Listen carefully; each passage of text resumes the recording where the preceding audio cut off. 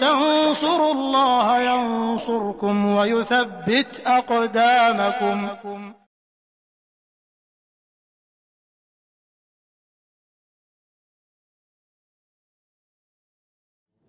السلام عليكم ورحمة الله وبركاته. إن الحمد لله نحمده ونستعينه ونستغفره ونعوذ بالله من شرور أنفسنا ومن سيئات أعمالنا. من يهده الله فلا مضل له ومن يضلل فلا هادي له. أشهد أن لا إله إلا الله وحده لا شريك له. وأشهد أن محمدا عبده ورسوله. يا أيها الذين آمنوا اتقوا الله حق تقاته. ولا تموتن إلا وأنتم مسلمون. يا أيها الناس اتقوا ربكم الذي خلقكم من نفس واحدة وخلق منها زوجها وبث منهما رجالا كثيرا ونساء واتقوا الله الذي تساءلون به والأرحام إن الله كان عليكم رقيبا. يا أيها الذين آمنوا اتقوا الله وقولوا قولا سديدا يصلح لكم أعمالكم ويغفر لكم ذنوبكم ومن يطع الله ورسوله فقد فاز فوزا عظيما. أما بعد فإن أحسن الكلام كلام الله وخير الهدى هدى محمد صلى الله عليه وسلم وشر الأمور محدثاتها فإن كل محدثة بدعة وكل بدعة ضلالة وكل ضلالة في النار إخواني وأخواتي في الدين أعزكم الله Bapak-bapak dan ibu-ibu yang dimuliakan Allah Subhanahu wa taala, Pertama-tama mari kita bersyukur kepada Allah Subhanahu wa taala yang memberikan kita umur yang baru sehingga bisa bertemu dengan hari yang baru ini. Semoga hari-hari kita ini penuh dengan ketaka, ketakwaan, ketaatan kepada Allah Subhanahu wa taala. Ikhwani fi din azakumullah, tidak ada gunanya Allah Subhanahu wa taala memberikan kita hari yang baru, memperpanjang umur kita sehingga bertemu dengan hari yang baru jika hari yang baru ini kita tidak isi dengan ketaatan dan ketakwaan kepada Allah Subhanahu wa taala. Ikhwani fitina azakumullah di antara bentuk-bentuk ketaatan ketakwaan adalah menuntut al-ilm syar'i yang bersumber dari Al-Quran dan sunnah Rasulullah sallallahu alaihi wasallam. Karena seseorang tidak akan mengetahui apa yang diperintahkan oleh Allah dan apa yang dilarang oleh Allah Subhanahu wa taala kecuali jika ia rajin menuntut al-ilm syar'i. Ikhwani fi din azakumullah. Bapak-bapak dan ibu-ibu yang dirahmati Allah. Pada kajian kita pada hari ini, kita akan menyampaikan beberapa pengaruh harta yang haram atau makanan yang haram yang masuk ke dalam tubuh kita. Ikhwani fi din azzakumullah, bapak-bapak dan ibu-ibu yang dirahmati Allah, harus kita akui bahwa kebanyakan di antara kaum muslimin yang telah mengentengkan masalah yang haram. Terutama sekali adalah tentang harta yang haram. Bagi mereka yang halal itu adalah yang masuk ke kantongnya. Meskipun itu adalah sudah jelas keharamannya. Dan banyak di antara kaum muslimin juga yang berlomba-lomba untuk mendapatkan sesuatu yang diharamkan oleh Allah Subhanahu wa taala. Maka janganlah kita merasa heran jika kita melihat akhlak yang begitu rusak. Janganlah kita merasa heran ketika melihat banyak orang yang durhaka kepada kedua orang tuanya. Janganlah kita heran ketika melihat banyak orang-orang yang mengentengkan masalah agama. Itu semuanya adalah dipengaruhi oleh harta yang haram atau makanan yang haram yang masuk ke dalam tubuh kita. Ikhwani azakumullah. Rasulullah sallallahu alaihi wasallam di dalam sebuah hadis menjelaskan sayati 'alan nasi zamanun la yubali fihi al-mar'u min ayna akhadha al-mal am min al-haram am min al-halal. Akan tiba suatu masa di mana seseorang di masa itu dia tidak peduli dari mana ia mendapatkan hartanya. Apakah dari yang halal atau dari yang haram yang penting saya kena kenyang yang penting harta saya banyak meskipun itu adalah dari jalan yang diharamkan oleh Allah Subhanahu wa taala. Nas'alullah salamah wal afiyah. Oleh karena itu ikhwani fiddin azakumullah semoga kajian ini bisa menjadikan kita berhati-hati terhadap harta atau makanan yang diharamkan oleh Allah Subhanahu wa taala.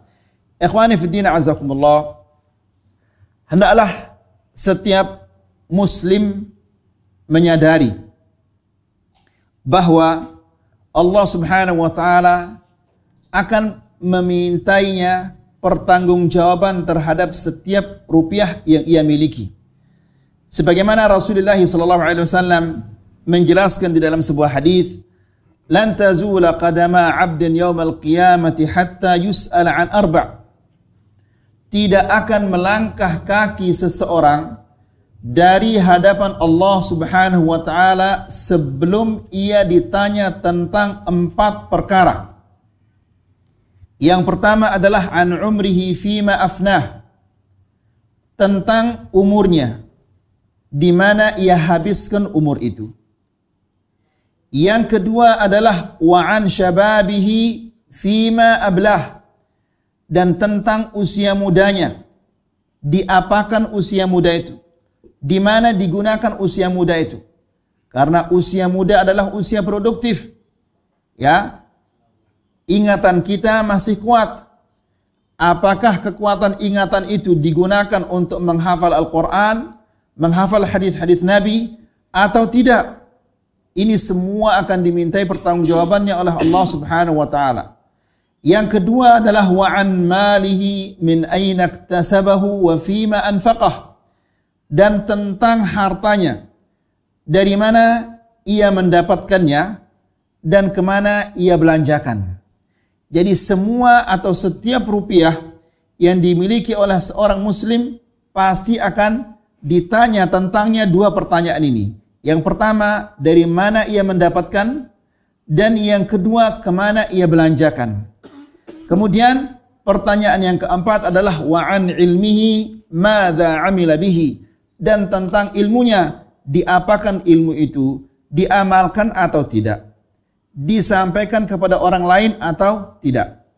Nah jadi ikhwani fiddin azakumullah inilah yang hendaklah di setiap setiap orang muslim menyadarinya bahwa ia akan ditanya oleh Allah Subhanahu wa taala tentang harta yang ia miliki ikhwani azakumullah lalu apa saja keburukan-keburukan yang ditimbulkan oleh harta yang haram. Yang pertama adalah mahqul barakah. Harta yang haram itu adalah harta yang dimusnahkan keberkahannya oleh Allah Subhanahu wa taala. Jadi bagaimanapun banyaknya harta yang haram itu pasti akan dimusnahkan keberkahannya oleh Allah Subhanahu wa taala. Allah Subhanahu wa taala berfirman di dalam Al-Qur'an, yamhaqullahu riba wa yurbis sadaqat. Allah Subhanahu wa taala menghapus, memusnahkan keberkahan riba dan Allah Subhanahu wa taala menumbuhkan sedekah. Kalau sedekah itu dilipat gandakan oleh Allah Subhanahu wa taala. Ya, dari satu sampai tujuh ratus kali lipat terus dilipat gandakan oleh Allah Subhanahu wa taala sesuai dengan keikhlasan seseorang.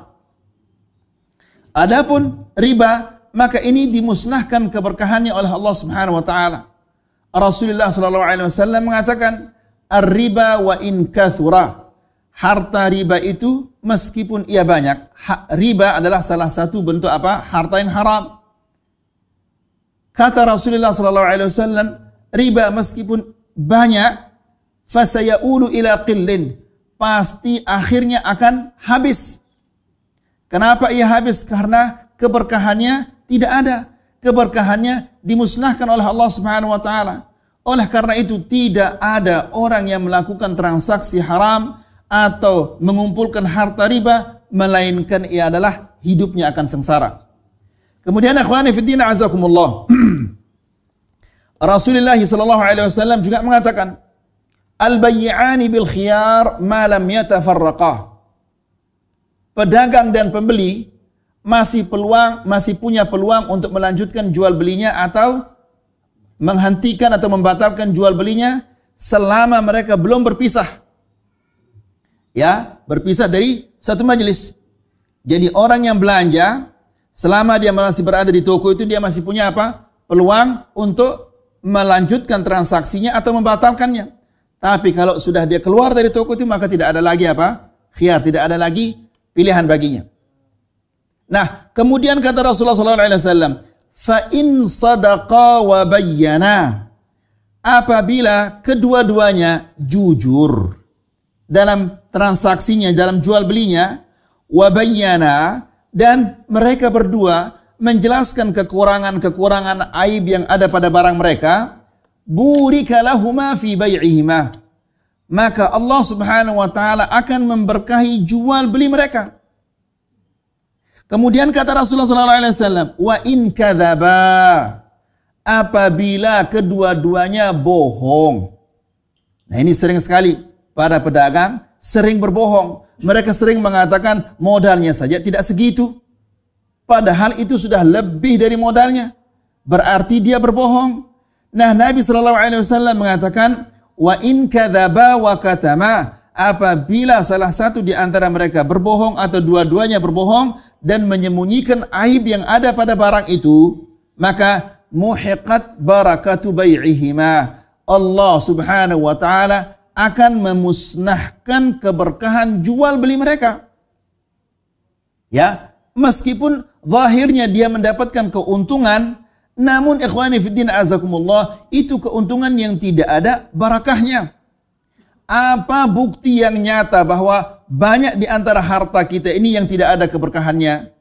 Buktinya adalah harta kita banyak, namun ibadah kita kepada Allah Subhanahu wa taala semakin berkurang. Seharusnya Allah Subhanahu wa taala memberikan kita kenikmatan-kenikmatan yang banyak, seharusnya kita semakin kuat, semakin giat beribadah kepada Allah Subhanahu wa taala, namun justru semakin banyak kita diberikan oleh Allah Subhanahu wa taala, maka kita semakin malas beribadah kepada Allah Subhanahu wa taala. Nas'alullah assalamu afiyah. Ini menunjukkan bahwa harta yang kita dapatkan itu adalah tidak ada keberkahannya sama sekali. Kemudian akhwani fi din azakumullah. Kata Syekh, "Fanzur akhi fi aqibati al-kadhib wa ta'amul bil haram min riba wa ghashin wa ghairih." Lihatlah bagaimana akibat yang ditimbulkan oleh dusta, berbohong ketika transaksi jual beli. Dan lihatlah bagaimana pengaruh harta yang haram. Innahu mahqun lil barakah. Transaksi yang haram, tipu menipu, hasil riba semua itu adalah akan memusnahkan keberkahan harta. Fa inna man ghasya wa katama aibas sil'ah yuridu ziyadah. Sesungguhnya orang yang menutupi aib barangnya itu tujuannya adalah agar dia mendapatkan keuntungan. Karena kalau orang mengetahui aibnya, aib barangnya pasti barang itu akan apa? Akan jatuh harganya. Ya, sehingga aib cacat yang ada di barang itu ditutup fayu'aqab binaqidi qasdihi wa huwa zawalul barakah alladhi akhadahu dibalas oleh Allah Subhanahu wa taala sebalik daripada yang dia inginkan dia inginkan hartanya bertambah namun dibalas oleh Allah Subhanahu wa taala dengan dimusnahkan keberkahan dari harta yang dia dapatkan. Dimusnahkan keberkahan yang uh, dia dapatkan dari keuntungan itu. Nas'alullah salam wal afiyah. Jadi ikhwani fi din azakumullah.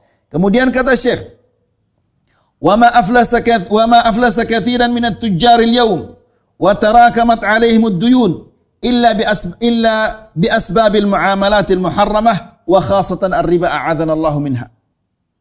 Dan tidaklah para pengusaha di zaman sekarang ini.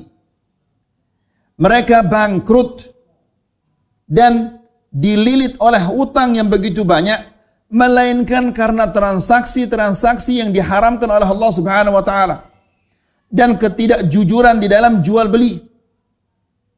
Ya, ikhwani fi din azakumullah. Banyak orang mendapatkan untungan yang begitu besar, namun subhanallah anak-anaknya durhaka, disiksa oleh anaknya.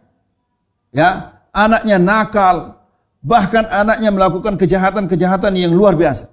Semua itu adalah karena pengaruh harta yang diharamkan oleh Allah Subhanahu wa taala. Bapaknya Al-Imam bapaknya Al-Imam Al-Bukhari suatu hari pernah ditanya oleh seseorang, "Kenapa anakmu bisa alim seperti ini?" Ya, yang ditanya adalah tentang pendidikan anaknya. Tapi dia mengatakan, "Laisa fi mali dirhamu syubhah." Tidak ada di dalam harta saya ini satu dirham yang syubhat. Lihat ayo ikhwah. Yang ditanya adalah tentang pendidikan anaknya, tapi yang dijawab adalah tentang makanannya. Kenapa demikian? Karena makanan yang makanan yang halal atau makanan yang haram itu memiliki pengaruh yang sangat-sangat besar terhadap seseorang. Ya, jadi yang pertama harta yang haram akan dimusnahkan keberkahannya oleh Allah Subhanahu wa taala. Yang kedua, adam ijabat dakwah. Orang yang hartanya adalah haram atau orang yang makan harta yang haram, doanya tidak dikabulkan oleh Allah Subhanahu wa taala. Ya. Jadi khwana fiddin azakumullah. Jika harta yang haram itu tidak ada kejelekannya kecuali yang satu ini, ini sudah cukup bagi kita untuk menjauhkannya. Lalu bagaimana jika harta yang haram itu memiliki keburukan-keburukan yang banyak di dunia dan di akhirat? Ya. Rasulullah sallallahu alaihi wasallam mengatakan kepada Sa'ad Ibn Abi Waqqas radhiyallahu anhu. Dia mengatakan, "Ya Sa'ad." Rasulullah sallallahu alaihi wasallam mengatakan, "Ya Sa'ad." Wahai Sa'ad, atib mat'amak. Perbaikilah makananmu. Di sini perbaikilah makananmu bukan berarti makanan yang bergizi, empat sehat, lima sempurna, bukan ini yang dimaksud oleh Rasulullah wasallam. Atib mat'amak artinya adalah makanlah makanan yang halal.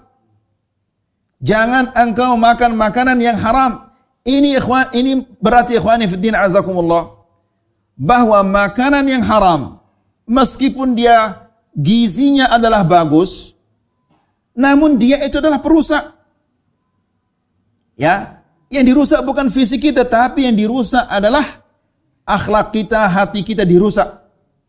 Kata Rasulullah SAW, Ya Sa'ad, atib mat'amak. Wahai Sa'ad, perbaikilah makananmu. Ya, kenapa? Tustajab da'watuk. Maka doamu akan dikabulkan oleh Allah Subhanahu wa taala. Ya. Jadi khani fiddin azakumullah, tidak ada seseorang melainkan dia ingin untuk dikabulkan doanya oleh Allah Subhanahu wa taala. Tapi doa itu agar dikabulkan oleh Allah Subhanahu wa taala ada syarat-syaratnya. Salah satu di antara syarat-syaratnya adalah harus makanan yang dia makan itu adalah makanan yang halal. Ya. Namun ikhwani fiddin azakumullah, mungkin ada orang yang suka makan makanan yang haram. Hartanya adalah harta yang haram, namun doanya dikabulkan terus oleh Allah Subhanahu wa taala. Ini lebih lebih berbahaya lagi. Ya, dia tidak menyadari bahwa dia dipancing oleh Allah Subhanahu wa taala. Ya, dia mengira bahwa Allah Subhanahu wa taala senang kepadanya. Dia mengira bahwa Allah Subhanahu wa taala ridha kepadanya, padahal dia dipancing oleh Allah Subhanahu wa taala, diberi terus, diberi terus sehingga dia tidak tobat-tobat dari harta yang haram itu, lalu dia didatangi oleh kematian sebelum dia bertobat kepada Allah Subhanahu wa taala. Bagaimanakah buruknya kematian orang yang seperti ini? Nas'alullah salamun afiyah. Ya, jadi khawani fiddin azakumullah, orang yang makan harta yang haram, doanya tidak dikabulkan oleh Allah Subhanahu wa taala. Kemudian Hadis ini diriwayatkan oleh Imam At-Tabarani. Kemudian Rasulullah sallallahu alaihi wasallam juga di dalam sebuah hadis mengatakan, "Wa dzakara ar-rajula yutilu safar ash'atha akhbar yamuddu yadayhi ila as-sama' ya Rabb ya Rabb." Nabi sallallahu alaihi wasallam dalam sebuah hati, sebuah hadis bercerita tentang seorang yang musafir. Ya, yutilu safar. Dia melakukan perjalanan yang panjang safarnya panjang. Orang musafir doanya diterima oleh Allah. Ya. Jadi ikhwani azakumullah, apabila ada teman-teman kita, tetangga kita, saudara kita, keluarga kita yang pergi musafir, datangilah dia. Minta kepadanya agar didoakan kita. Karena doanya orang musafir itu diterima oleh Allah Subhanahu wa taala. Rasulullah sallallahu alaihi wasallam pernah mendatangi Umar radhiyallahu taala anhu, Umar bin Khattab ketika Umar akan melakukan apa? Umrah. Padahal Rasulullah sallallahu alaihi wasallam lebih mulia, lebih tinggi derajatnya di sisi Allah Subhanahu wa taala daripada Umar. Namun Rasulullah sallallahu alaihi wasallam mendatangi Umar radhiyallahu taala anhu karena dia akan umrah, akan musafir. Dalam kondisi doanya diterima oleh Allah Subhanahu wa taala. Lalu Rasulullah sallallahu alaihi wasallam mengatakan kepada Umar, "Ya akhi, la tansana min salihi du'aik. Wahai saudaraku, janganlah engkau melupakan kami dari doa-doamu yang apa? Yang baik. Rasulullah SAW minta kepada Umar. Demikian juga Umar meminta kepada siapa? Uwais al-Qarni. Padahal Umar ibn al-Khattab jauh lebih tinggi derajatnya daripada Uwais al-Qarni. Ya, namun karena Uwais al-Qarni adalah orang yang diterima doanya, maka Rasulullah SAW berpesan kepada Umar nanti apabila ada seseorang datang dari Yaman yang bernama Uwais al-Qarni dari suku ini dari suku ini, jika engkau bertemu dengannya, maka mintalah kepadanya agar engkau didoakan. Ya. Nah, jadi ikhwani fiddin azakumullah. Rasulullah sallallahu alaihi wasallam menjelaskan, ya.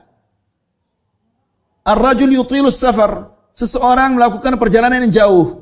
Kemudian asy'as akbar. Rambutnya acak-acakan, mukanya berdebu. Karena memang kondisinya orang musafir seperti itu. Dulu kan orang musafir tidak pakai apa? Tidak pakai pesawat. Ya, otomatis rambutnya acak-acakan, mukanya berdebu, fisiknya lemah. Nah, orang yang kondisinya seperti ini, biasanya ketika dia berdoa, hatinya akan tulus. Dia jauh dari keluarganya, maka dia akan berdoa dengan hati yang tulus. Lihat, dia musafir, musafir diterima doanya, kemudian dia berdoa dengan hati yang tulus, kemudian ia muddu yadaih, dia mengangkat kedua tangannya. Mengangkat kedua tangan ini adalah etika di dalam berdoa. Ya, kemudian ya ya Rabbu ya Rabb, dia panggil Allah Subhanahu wa taala dengan panggilan yang dia cintai, panggilan yang disukai oleh Allah Subhanahu wa taala. Jadi orang ini telah memenuhi semua syarat dan etika adab untuk doanya dikabulkan oleh Allah. Dia musafir, dia dalam keadaan lemah, kemudian dia mengangkat kedua tangannya, kemudian dia memanggil Allah Subhanahu wa taala dengan panggilan-panggilan yang dia sukai. Akan tetapi kata Rasulullah sallallahu alaihi wasallam, "Wa mat'amuhu haram." Makannya makanannya haram.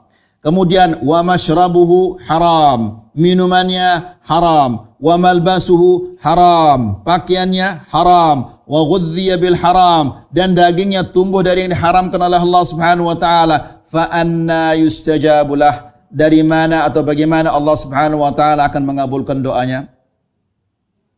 Nas'alullah salam al Hadis ini diriwayatkan oleh Imam Muslim. Jadi ikhwani fi din azakumullah. Lihat bagaimana pengaruh harta yang haram terhadap doa seseorang, ya, doanya tidak akan dikabulkan oleh Allah Subhanahu wa taala. Nah, bagaimanakah ketika orang ini berada dalam suatu musibah, berada dalam suatu kesulitan, lalu dia ingin kesulitannya itu dihilangkan oleh Allah Subhanahu wa taala atau dia ingin dikeluarkan oleh Allah Subhanahu wa taala dari musibah itu. Kemudian dia meminta kepada Allah Subhanahu wa taala. Akan tetapi Allah Subhanahu wa taala telah menutup pintu-pintu langit dari doanya. Ya. Jadi lihat ikhwani fiddin azakumullah. Allah subhanahu wa ta'ala tidak mengabulkan doanya padahal dia sangat-sangat butuh untuk dibantu oleh Allah subhanahu wa ta'ala. Allah tidak mengabulkan doanya gara-gara apa? Gara-gara mungkin bisa jadi makanannya adalah haram atau minumannya haram atau pakaiannya haram atau dagingnya tumbuh dari sesuatu yang diharamkan oleh Allah Subhanahu wa taala. Lalu fillah azakumullah tidak sampai di sana. Mungkin dia bawakan istrinya, anaknya, rambutan, durian, mangga dari hasil yang diharamkan oleh Allah Subhanahu wa taala. Bagaimanakah besar dosanya seorang ayah atau seorang suami yang memberikan anaknya dan istrinya makanan yang diharamkan oleh Allah Subhanahu wa taala. Seharusnya ia jaga mereka. Ya, kalau kita anak istri kita kita jaga dia dari terik matahari. Kita suruh dia apa? Beli payung, Ya, jangan berdiri di tempat yang panas supaya kamu tidak sakit. Tapi makanan yang haram yang akan masukkannya ke neraka justru dibawakan dia. Dibawakan anaknya rambutan dari hasil yang haram. Atau durian atau yang lain-lain dari hasil yang diharamkan oleh Allah Subhanahu wa taala. Nipu sana, nipu sini, bohong sana, bohong sini. Sehingga hartanya itu kotor. Nauzubillah. Kemudian yang ketiga, mani'un min qabulis sadaqah wal haji wal umrah wa kullu ma fihi malul haram. Orang yang hartanya haram, sedekahnya tidak diterima oleh Allah. Hajinya, umrahnya tidak diterima oleh Allah Subhanahu wa taala. Dan segala kebaikan yang dia gunakan harta haram itu tidak diterima oleh Allah Subhanahu wa taala. Ya, Kenapa demikian?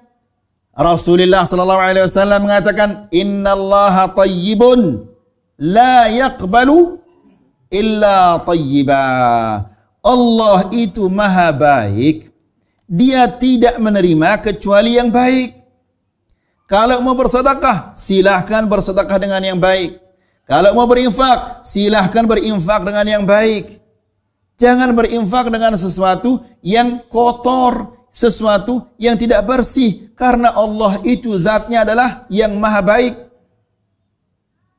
Karena dia adalah yang maha baik maka dia tidak menerima kecuali yang baik. Ibadah kita saja jika ada campuran-campurannya tidak diterima oleh Allah Subhanahu wa taala.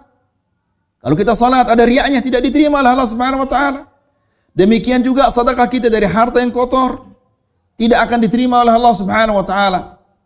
Kemudian wa fil hadis di dalam sebuah hadis Rasulullah wasallam menjelaskan, "Idza kharaja ar-rajulu hajjan bi nafaqatin thayyibah" Apabila seseorang keluar ya, pergi berhaji dengan harta yang bagus, harta yang baik, yang bersih, yang halal, wa wada'a rijlahu 'ala al-farazi. Ketika ia meletakkan kakinya di atas kendaraannya kemudian dia bertalbiyah mengatakan labbaik Allahumma labbaik labbaik la syarika lak labbaik. Dan seterusnya. Maka seketika seruannya itu panggilannya itu disambut dari langit. Nadahu munadim minas sama. Dipanggil dia dari langit. Labbaik wa sa'daik. Artinya adalah panggilan demi panggilanmu disambut dan dikabulkan apa sebabnya? Nabi mengatakan, zaduka halal karena bekalmu adalah halal. Warahilatuka halal, kendaraanmu adalah halal, ongkosmu berhaji adalah halal. Wahajjuka mabrur, hajimu dikabulkan oleh Allah Subhanahu wa taala, hajimu diterima oleh Allah Subhanahu wa taala, ghaira ma'zur. Pulang ke desamu tanpa dosa. Ya, ini yang kita inginkan selalu.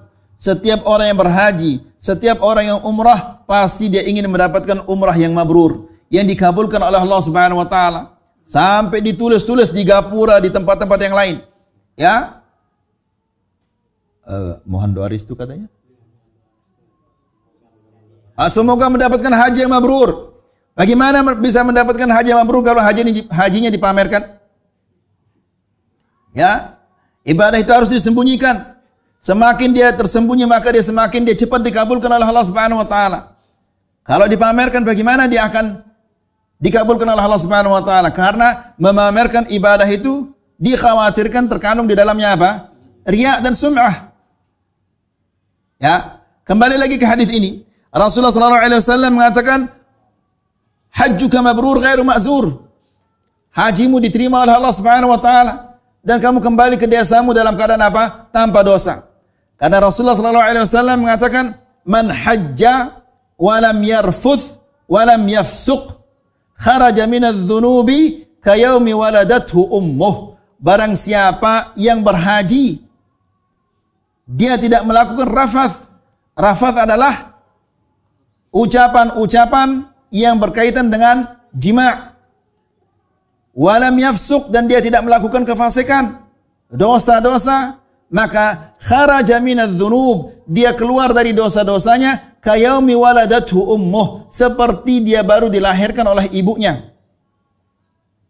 Bersih dari dosa-dosanya.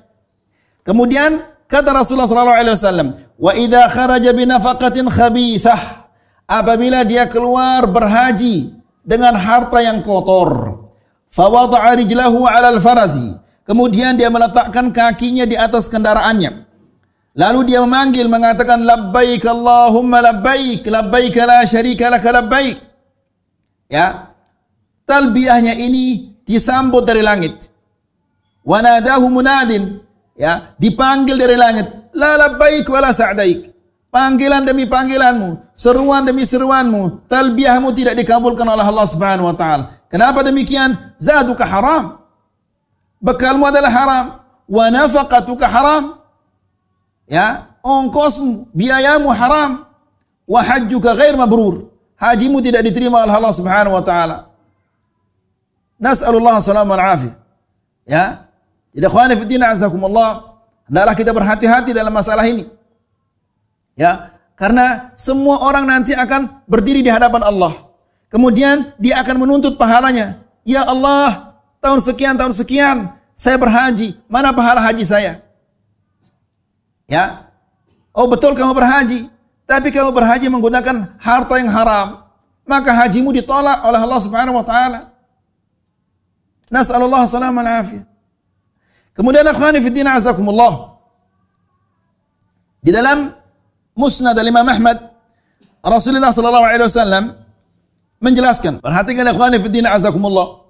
Hadis ini sangat mengerikan. Nabi sallallahu alaihi wasallam mengatakan, La yaktasibu abdun malan min haramin. Tidaklah seseorang mendapatkan harta dari yang diharamkan oleh Allah Subhanahu wa taala fayunfiqu minhu fayubarik lahu fih. Jika dia belanjakan untuk anaknya, untuk istrinya, maka tidak akan diberkahi oleh Allah Subhanahu wa taala. Ya, jika dia belanjakan hartanya untuk keluarganya, apa saja kebutuhan keluarganya, maka tidak akan diberkahi oleh Allah Subhanahu wa taala.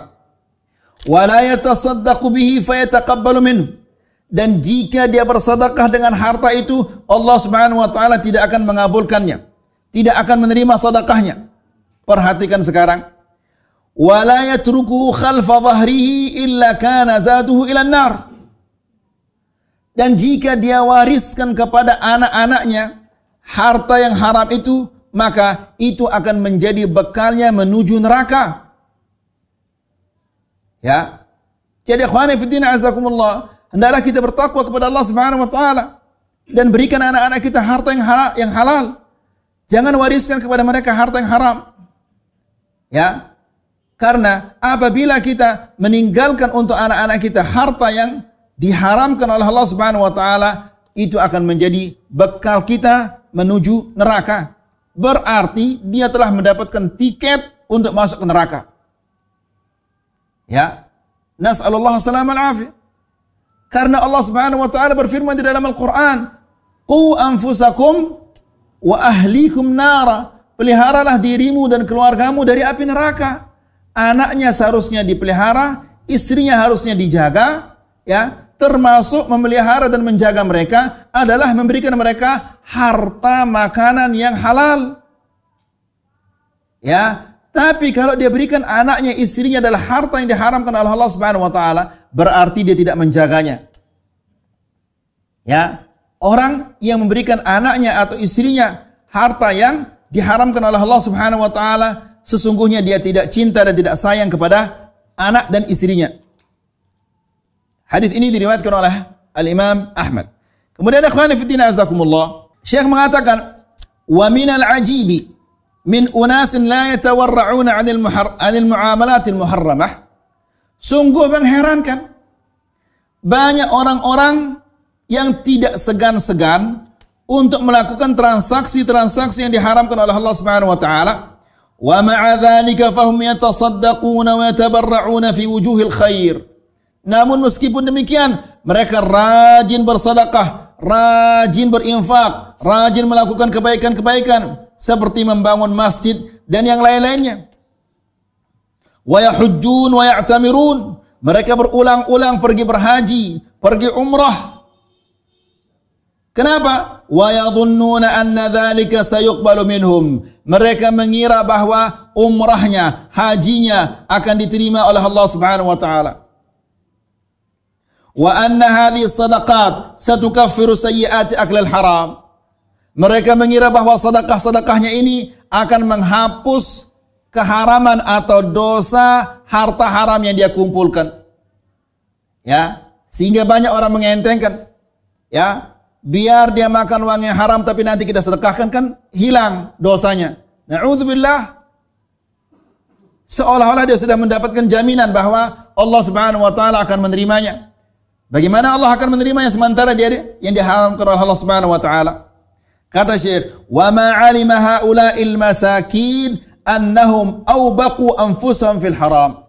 Mereka tidak mengetahui bahwa mereka telah melumuri diri mereka menjerumuskan diri mereka ke dalam sesuatu yang diharamkan oleh Allah Subhanahu wa taala. Wa anna sadaqatihim laysat maqbulah dan bahwasanya sedekah mereka tidak diterima oleh Allah Subhanahu wa taala. Lihat ikhwani fi din azakumullah. Apa kata Abdullah ibnu Umar radhiyallahu anhuma? Dia mengatakan la raddu daniqin. Seandainya aku mengembalikan atau aku menolak danik. Danik itu adalah beberapa biji gandum. Senilai beberapa biji gandum. Maksudnya adalah seandainya aku menolak harta atau uang yang paling sedikit nilainya, ya, afdalu min mi'ati alfin tunfiqu fi sabilillah. Itu lebih baik bagimu daripada engkau menginfakkan seratus ribu di jalan Allah. Menolak yang haram ya itu lebih bagus daripada kita berinfak di jalan Allah Subhanahu wa taala karena yang haram itu akan menghancurkan dunia dan akhirat kita. Ya. Nas'alullah salam al afiyah. Jadi khani fi din azakumullah, tidak boleh kita mengentengkan hal ini. Abdullah bin Mubarak radhiyallahu taala anhu mengatakan, "La in arudda dirhaman, seandainya aku menolak dirham min syubhah dari yang syubhat, Ya. Satu dirham yang syubhah. Sekarang orang Masya Allah. Jutaan bahkan miliaran. Hasil korupsi dia tenang-tenang saja. Ya. Bangun rumah, bangun ini dan seterusnya. Dari sesuatu yang diharamkan oleh Allah Subhanahu wa taala. Abdullah bin Mubarak mengatakan la in arudda dirhaman min syubhah. Seandainya aku menolak mengembalikan satu dirham dari yang syubhat, syubhat itu artinya apa? Tidak jelas keharamannya atau kehalalannya. Ya, dia belum murni yang haram, belum murni juga halal, masih samar-samar. Ahabbu ilayya min an atasaddaq bi mi'ati alf. Itu lebih aku sukai daripada aku berinfak atau bersedekah dengan uang 600 ribu.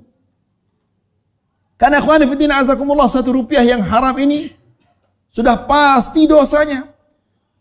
Namun sedekah kita belum tentu diterima oleh Allah Subhanahu wa taala. Karena untuk diterima sedekah kita ada syarat-syaratnya. Namun apabila kita sudah menerima harta yang haram, maka sudah pasti kita akan mendapatkan apa? Mendapatkan dosa wal billah. Kemudian akhwani fi din azakumullah. Yang keempat, harta yang haram akan menjadikan hati seseorang rusak Ya, hatinya akan menjadi rusak waliyadzubillah. Dan apabila hati ini sudah rusak, maka jangan ditanya bagaimana keburukan yang telah menimpa seseorang. Karena Rasulullah sallallahu alaihi wasallam mengatakan, "Ala inna fil jasadi mudghah." Sesungguhnya di dalam tubuh ini ada segumpal daging. Idza salahat salahal jasadu kulluh. Apabila segumpal daging itu baik maka baik seluruh tubuh ini. Wa idza fasadat fasada al jasadu kulluh. Dan apabila ia rusak maka rusaklah seluruh tubuh ini. Ya, jadi hati kita kata Rasulullah sallallahu alaihi wasallam ala wahyal qalb. Segumpal daging ini adalah apa? Hati. Ya. Ikhwani fi din azakumullah. Hati kalau baik, maka orang ini akan taat kepada Allah Subhanahu wa taala. Dia akan beribadah kepada Allah Subhanahu wa taala. Tapi jika hati ini rusak, dia akan senantiasa bermaksiat kepada Allah Subhanahu wa taala. Tidak mau melakukan ketaatan-ketaatan. Ya. Nah, ikhwani fi din azakumullah. Hadis ini adalah muttafaqun alaih.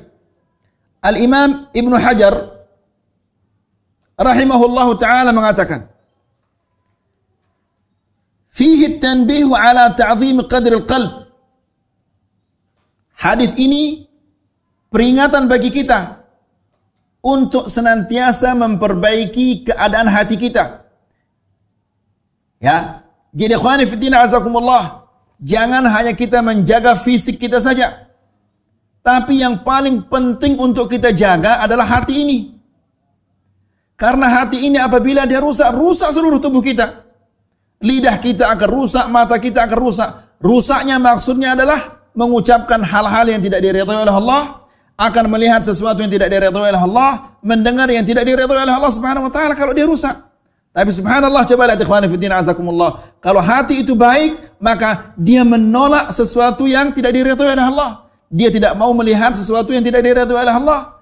Dia tidak mau mengucapkan sesuatu yang tidak diridhoi oleh Allah. Dia tidak mau mendengar sesuatu yang tidak diridhoi oleh Allah Subhanahu wa taala. Ya, maka itu berarti jika seseorang senang melihat sesuatu yang tidak diridhoi oleh Allah, itu tanda bahwa apa? Hatinya rusak. Ya, kemudian kata Ibnu Hajar, wal ala salahihi. Dan hadis ini juga mengingatkan kita agar kita senantiasa memperbaiki keadaan hati ini. Terus menerus kita memperbaiki hati. Hati ini di dalam bahasa Arab artinya apa? Qalb. Kenapa dinamakan dia qalb? Karena dia berbolak-balik. Ya, berbolak-balik. Rasulullah sallallahu alaihi wasallam mengatakan qulubu bani Adam baina usba'aini min asabi'ir rahman. Hati-hati anak Adam berada di tengah dua jari di antara jari-jari Allah. Yuqallibuha kaifa yasha. Dibolak-balik oleh Allah Subhanahu wa taala hati manusia ini sebagaimana Allah kehendaki. Ya, oleh karena hati ini selalu dibolak-balik oleh Allah Subhanahu wa taala, makanya Nabi sallallahu alaihi wasallam selalu berdoa. Nabi berdoa. Yang sudah diampuni dosa-dosanya yang lalu dan yang akan datang, berdoa. Apa doanya? Ya muqallibal qulub, sabbit qalbi ala dinik. Wahai zat yang membolak-balikkan hati, tetapkanlah hatiku di atas apa? Agamamu. Wa ya musarrifal qulub, Wahai zat yang mengarahkan hati, arahkanlah hatiku kepada ketaatanmu. Ini Nabi Sallallahu Alaihi Wasallam. Kenapa ikhwani fiddin azakumullah dia berdoa demikian? Karena Nabi Sallallahu Alaihi Wasallam yakin sekali bahwa hati ini dibolak-balik oleh Allah Subhanahu Wa Taala. Siapa di antara kita yang menjamin bahwa kita akan tetap menjadi orang yang beriman sampai besok pagi? Tidak ada. Bisa jadi sekarang kita beriman, besok pagi sudah kufur kita. Ya, bisa jadi sekarang kita cinta kepada sunnah, besok pagi kita sudah termasuk orang yang benci kepada sunnah. Na'udzubillah, nasallallahu salamu afiyah. Ya, oleh karena itu setiap muslim harus dia memperhatikan masalah hati. Kemudian kata Imam Ibn Hajar, wal isyaratu ila anna li tibil kasbi atharan fihi. Ha, kata Imam Ibn Hajar dan hadis ini menunjukkan bahwa makanan yang baik, penghasilan yang baik ini mempengaruhi hati kita. Kalau penghasilannya dari yang diharamkan oleh Allah, maka akan rusak hatinya. Kalau penghasilannya dari sesuatu yang dihalalkan oleh Allah, maka hatinya akan baik. Jadi ikhwani fiddin azakumullah. Hati kita ini dipengaruhi oleh apa yang kita lihat. Kalau yang kita lihat itu adalah sesuatu yang dihalalkan dan diridhoi oleh Allah, maka baik hati ini. Kalau yang dilihat sesuatu yang diharamkan oleh Allah, maka rusaklah jadinya. Hati kita juga dipengaruhi oleh apa yang kita dengar. Kalau yang kita dengar itu sesuatu yang haram, maka rusak hati ini. Kalau yang didengar adalah sesuatu yang halal, maka baik jadinya hati ini. Ya, hati ini juga dipengaruhi oleh apa yang dia tulis, apa yang dia baca. Kalau yang ditulis itu adalah sesuatu yang dicintai oleh Allah, maka baik hatinya. Kalau yang ditulis itu adalah sesuatu yang dibenci oleh Allah, ghibah, namimah atau yang lain-lainnya, maka rusak hatinya. Kalau dia membaca sesuatu yang dicintai oleh Allah, maka bersih baik hatinya. Tapi kalau yang dibaca sesuatu yang dibenci oleh Allah, maka rusaklah hatinya. Dan ingat ikhwani fiddin azakumullah, tidak ada orang selamat di akhirat kecuali orang-orang yang membawa hati yang apa? Selamat. Sebagaimana Allah Subhanahu wa taala berfirman, "Illa man atallaha biqalbin salim." Kecuali orang yang datang menuju Allah Subhanahu wa taala membawa hati yang selamat. Selamat dari syirik, bid'ah dan maksiat-maksiat karena semua itu akan apa? mempengaruhi hati kita wala hawla wala quwata illa billah. Kemudian ikhwani fi din azakumullah. Al-Imam Ahmad pernah ditanya. Al-Imam Ahmad ditanya, Bima talinul qulub. Dengan apa hati kita ini bisa menjadi lembut? Kita ini selalu mengeluhkan hati saya ini keras. Ya. Mendengar nasihat-nasihat seolah-olah tidak terjadi apa-apa di dalam hati saya. Mendengarkan Al-Quran juga tidak ada seolah-olah tidak ada pengaruhnya.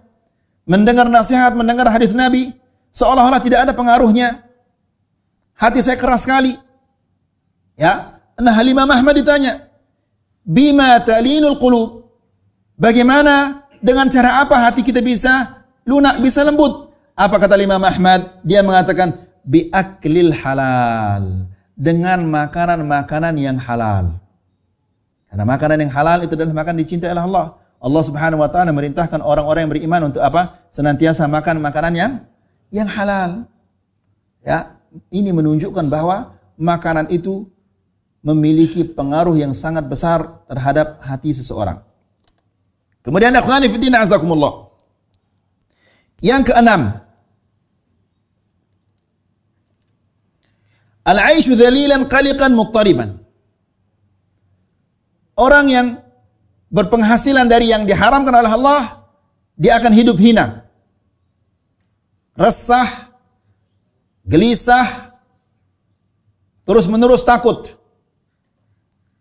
Kenapa? Wadzalika li'annahu yataqallabu fi ma'siyatillahi sabahan wa masa'a. Yang demikian itu karena dia berada di dalam maksiat siang dan malam. Nas'alullah salaman afi. Seandainya kita berada di tong sampah dua jam saja, jangankan dua jam, satu jam saja kita berada di dalam tong sampah, ya tidak mungkin kita akan tahan dengan baunya yang busuk seperti itu.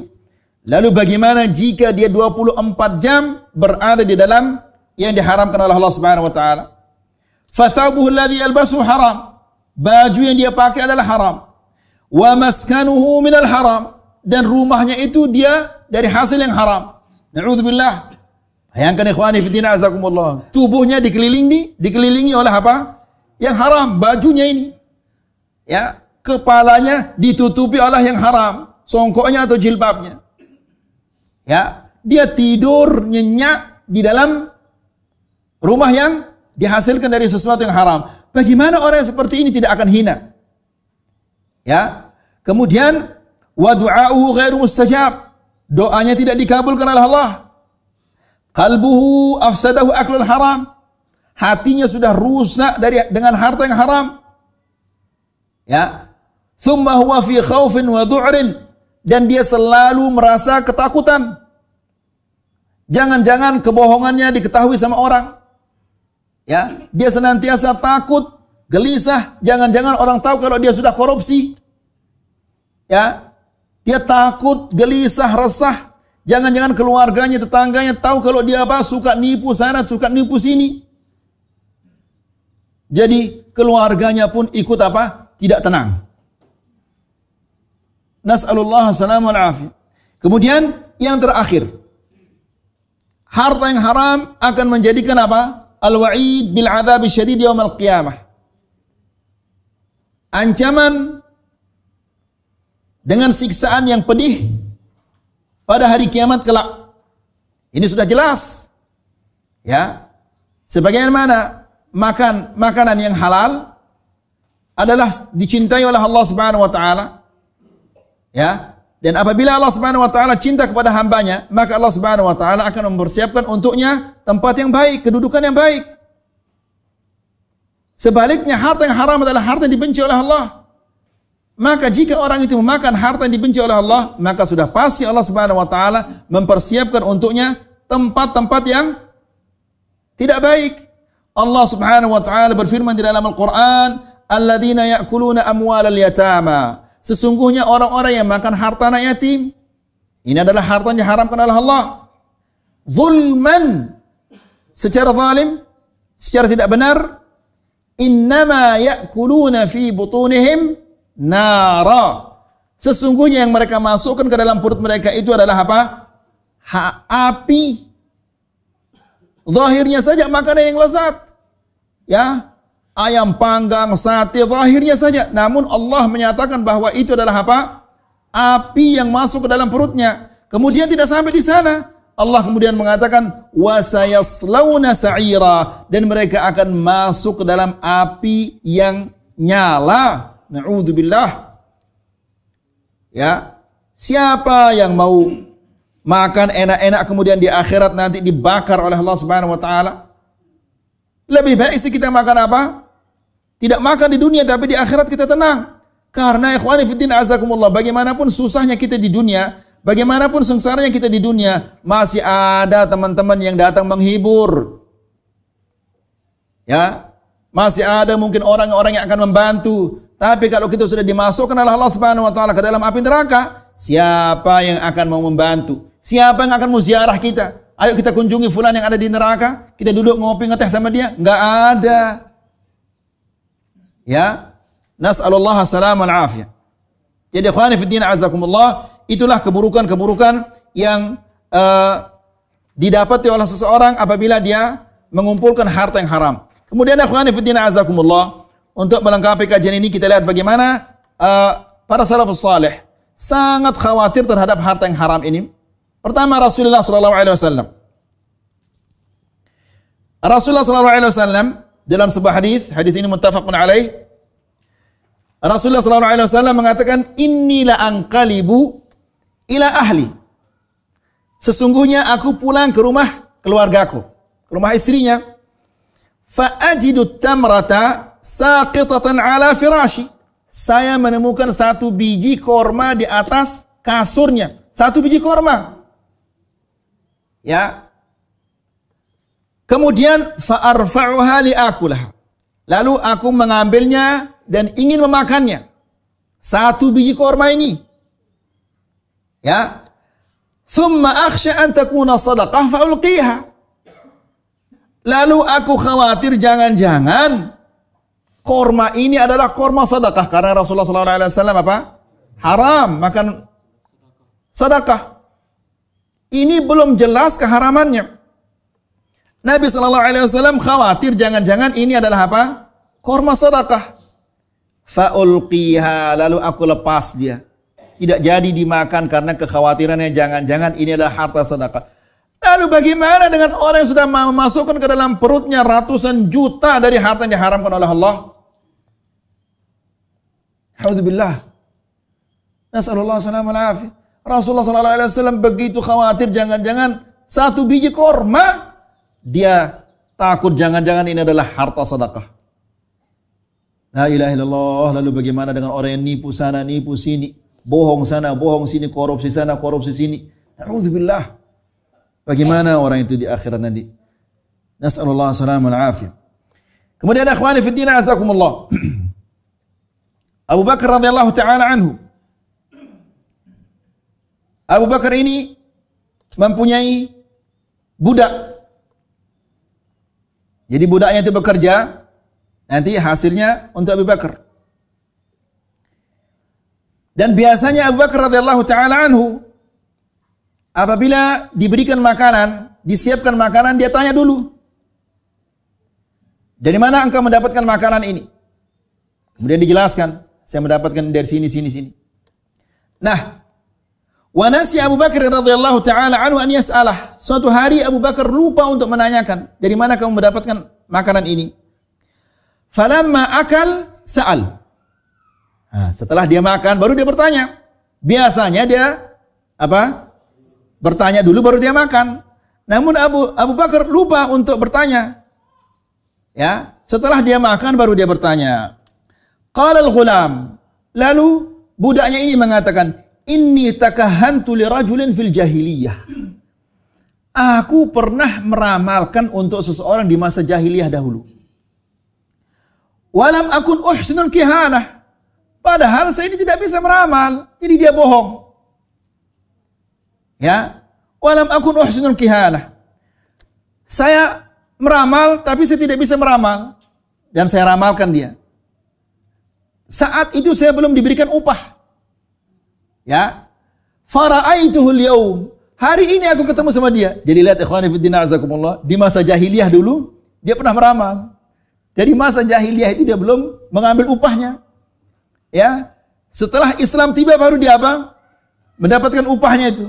Fara'aitu al hari ini aku bertemu dengannya. Fa'atani ajri. Hari ini dia kasih kepada saya upah saya. Qad wa hadha at minhu. Dan makanan yang engkau makan ini dari hasil ramalan saya di masa jahiliyah dahulu yang saya berbohong itu. Ya.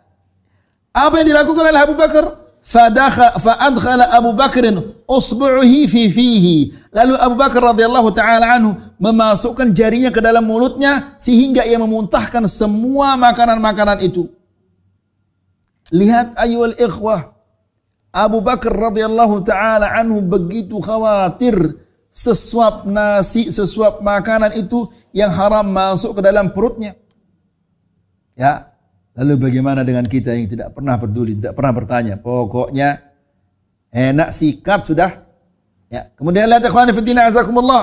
Sa'ad bin Abi Waqqas radhiyallahu taala anhu dia mengatakan, "Ma rafa'tu luqmatan." Tidak ada satu suap yang aku masukkan ke dalam perutku, ke dalam mulutku illa wa ana a'lamu min aina maji'uha. Melainkan aku tahu dari mana dia datang. Wa min aina kharajat, dari mana dia keluar. Ya, ini menunjukkan bahwa dia sangat-sangat khawatir. Jangan-jangan uang yang dihasilkan itu dari yang diharamkan oleh Allah Subhanahu wa taala. Demikian juga Wahab bin Munabbih. Ya, rahimahullah taala dia mengatakan man sarrahu an yastajib Allah da'watah. Barang siapa yang mau Allah Subhanahu wa taala mengabulkan doanya, falyatib ta'matah, maka hendaklah dia memperbaiki makanannya. Memperbaiki makanan maksud di sini apa? Makan makanan yang halal, bukan empat sehat lima sempurna, bukan. Ya, tapi makanlah dari yang dihalalkan oleh Allah Subhanahu wa taala, maka doamu akan dikabulkan oleh Allah Subhanahu wa taala. Kemudian Wahayyib ibn al-Ward rahimahullahu taala mengatakan, "Lau qumta maqama hadhihi sariyah" Seandainya engkau berdiri seperti tiang ini, Maksudnya berdiri salat lama engkau berdiri seperti tiang ini ma nafa'aka syai'un hatta tanzura ma yadkhulu batnaka halalun am haram. Itu tidak akan berguna bagimu. Meskipun engkau salat lama-lama itu tidak ada gunanya bagimu. Sampai engkau tahu yang masuk ke dalam perutmu ini halal apa haram. Karena harta yang haram, makanan yang haram menjadikan seseorang doanya tidak dikabulkan oleh Allah Subhanahu wa taala. Nas'alullah salam al afiyah. Ya, jadi ikhwani din azakumullah, betapa banyaknya orang yang rajin ruku dan sujud namun tidak diterima oleh Allah Subhanahu wa taala doanya, doa-doanya tidak diterima oleh Allah Subhanahu wa taala, itu semua karena pengaruh makanan yang diharamkan oleh Allah Subhanahu wa taala. Semoga bermanfaat, semoga bisa menambah keimanan kita dan ketakwaan kita kepada Allah Subhanahu wa taala. وآخر دعوانا أن الحمد لله رب العالمين. والسلام عليكم ورحمة الله وبركاته. إن تنصروا الله ينصركم ويثبت أقدامكم.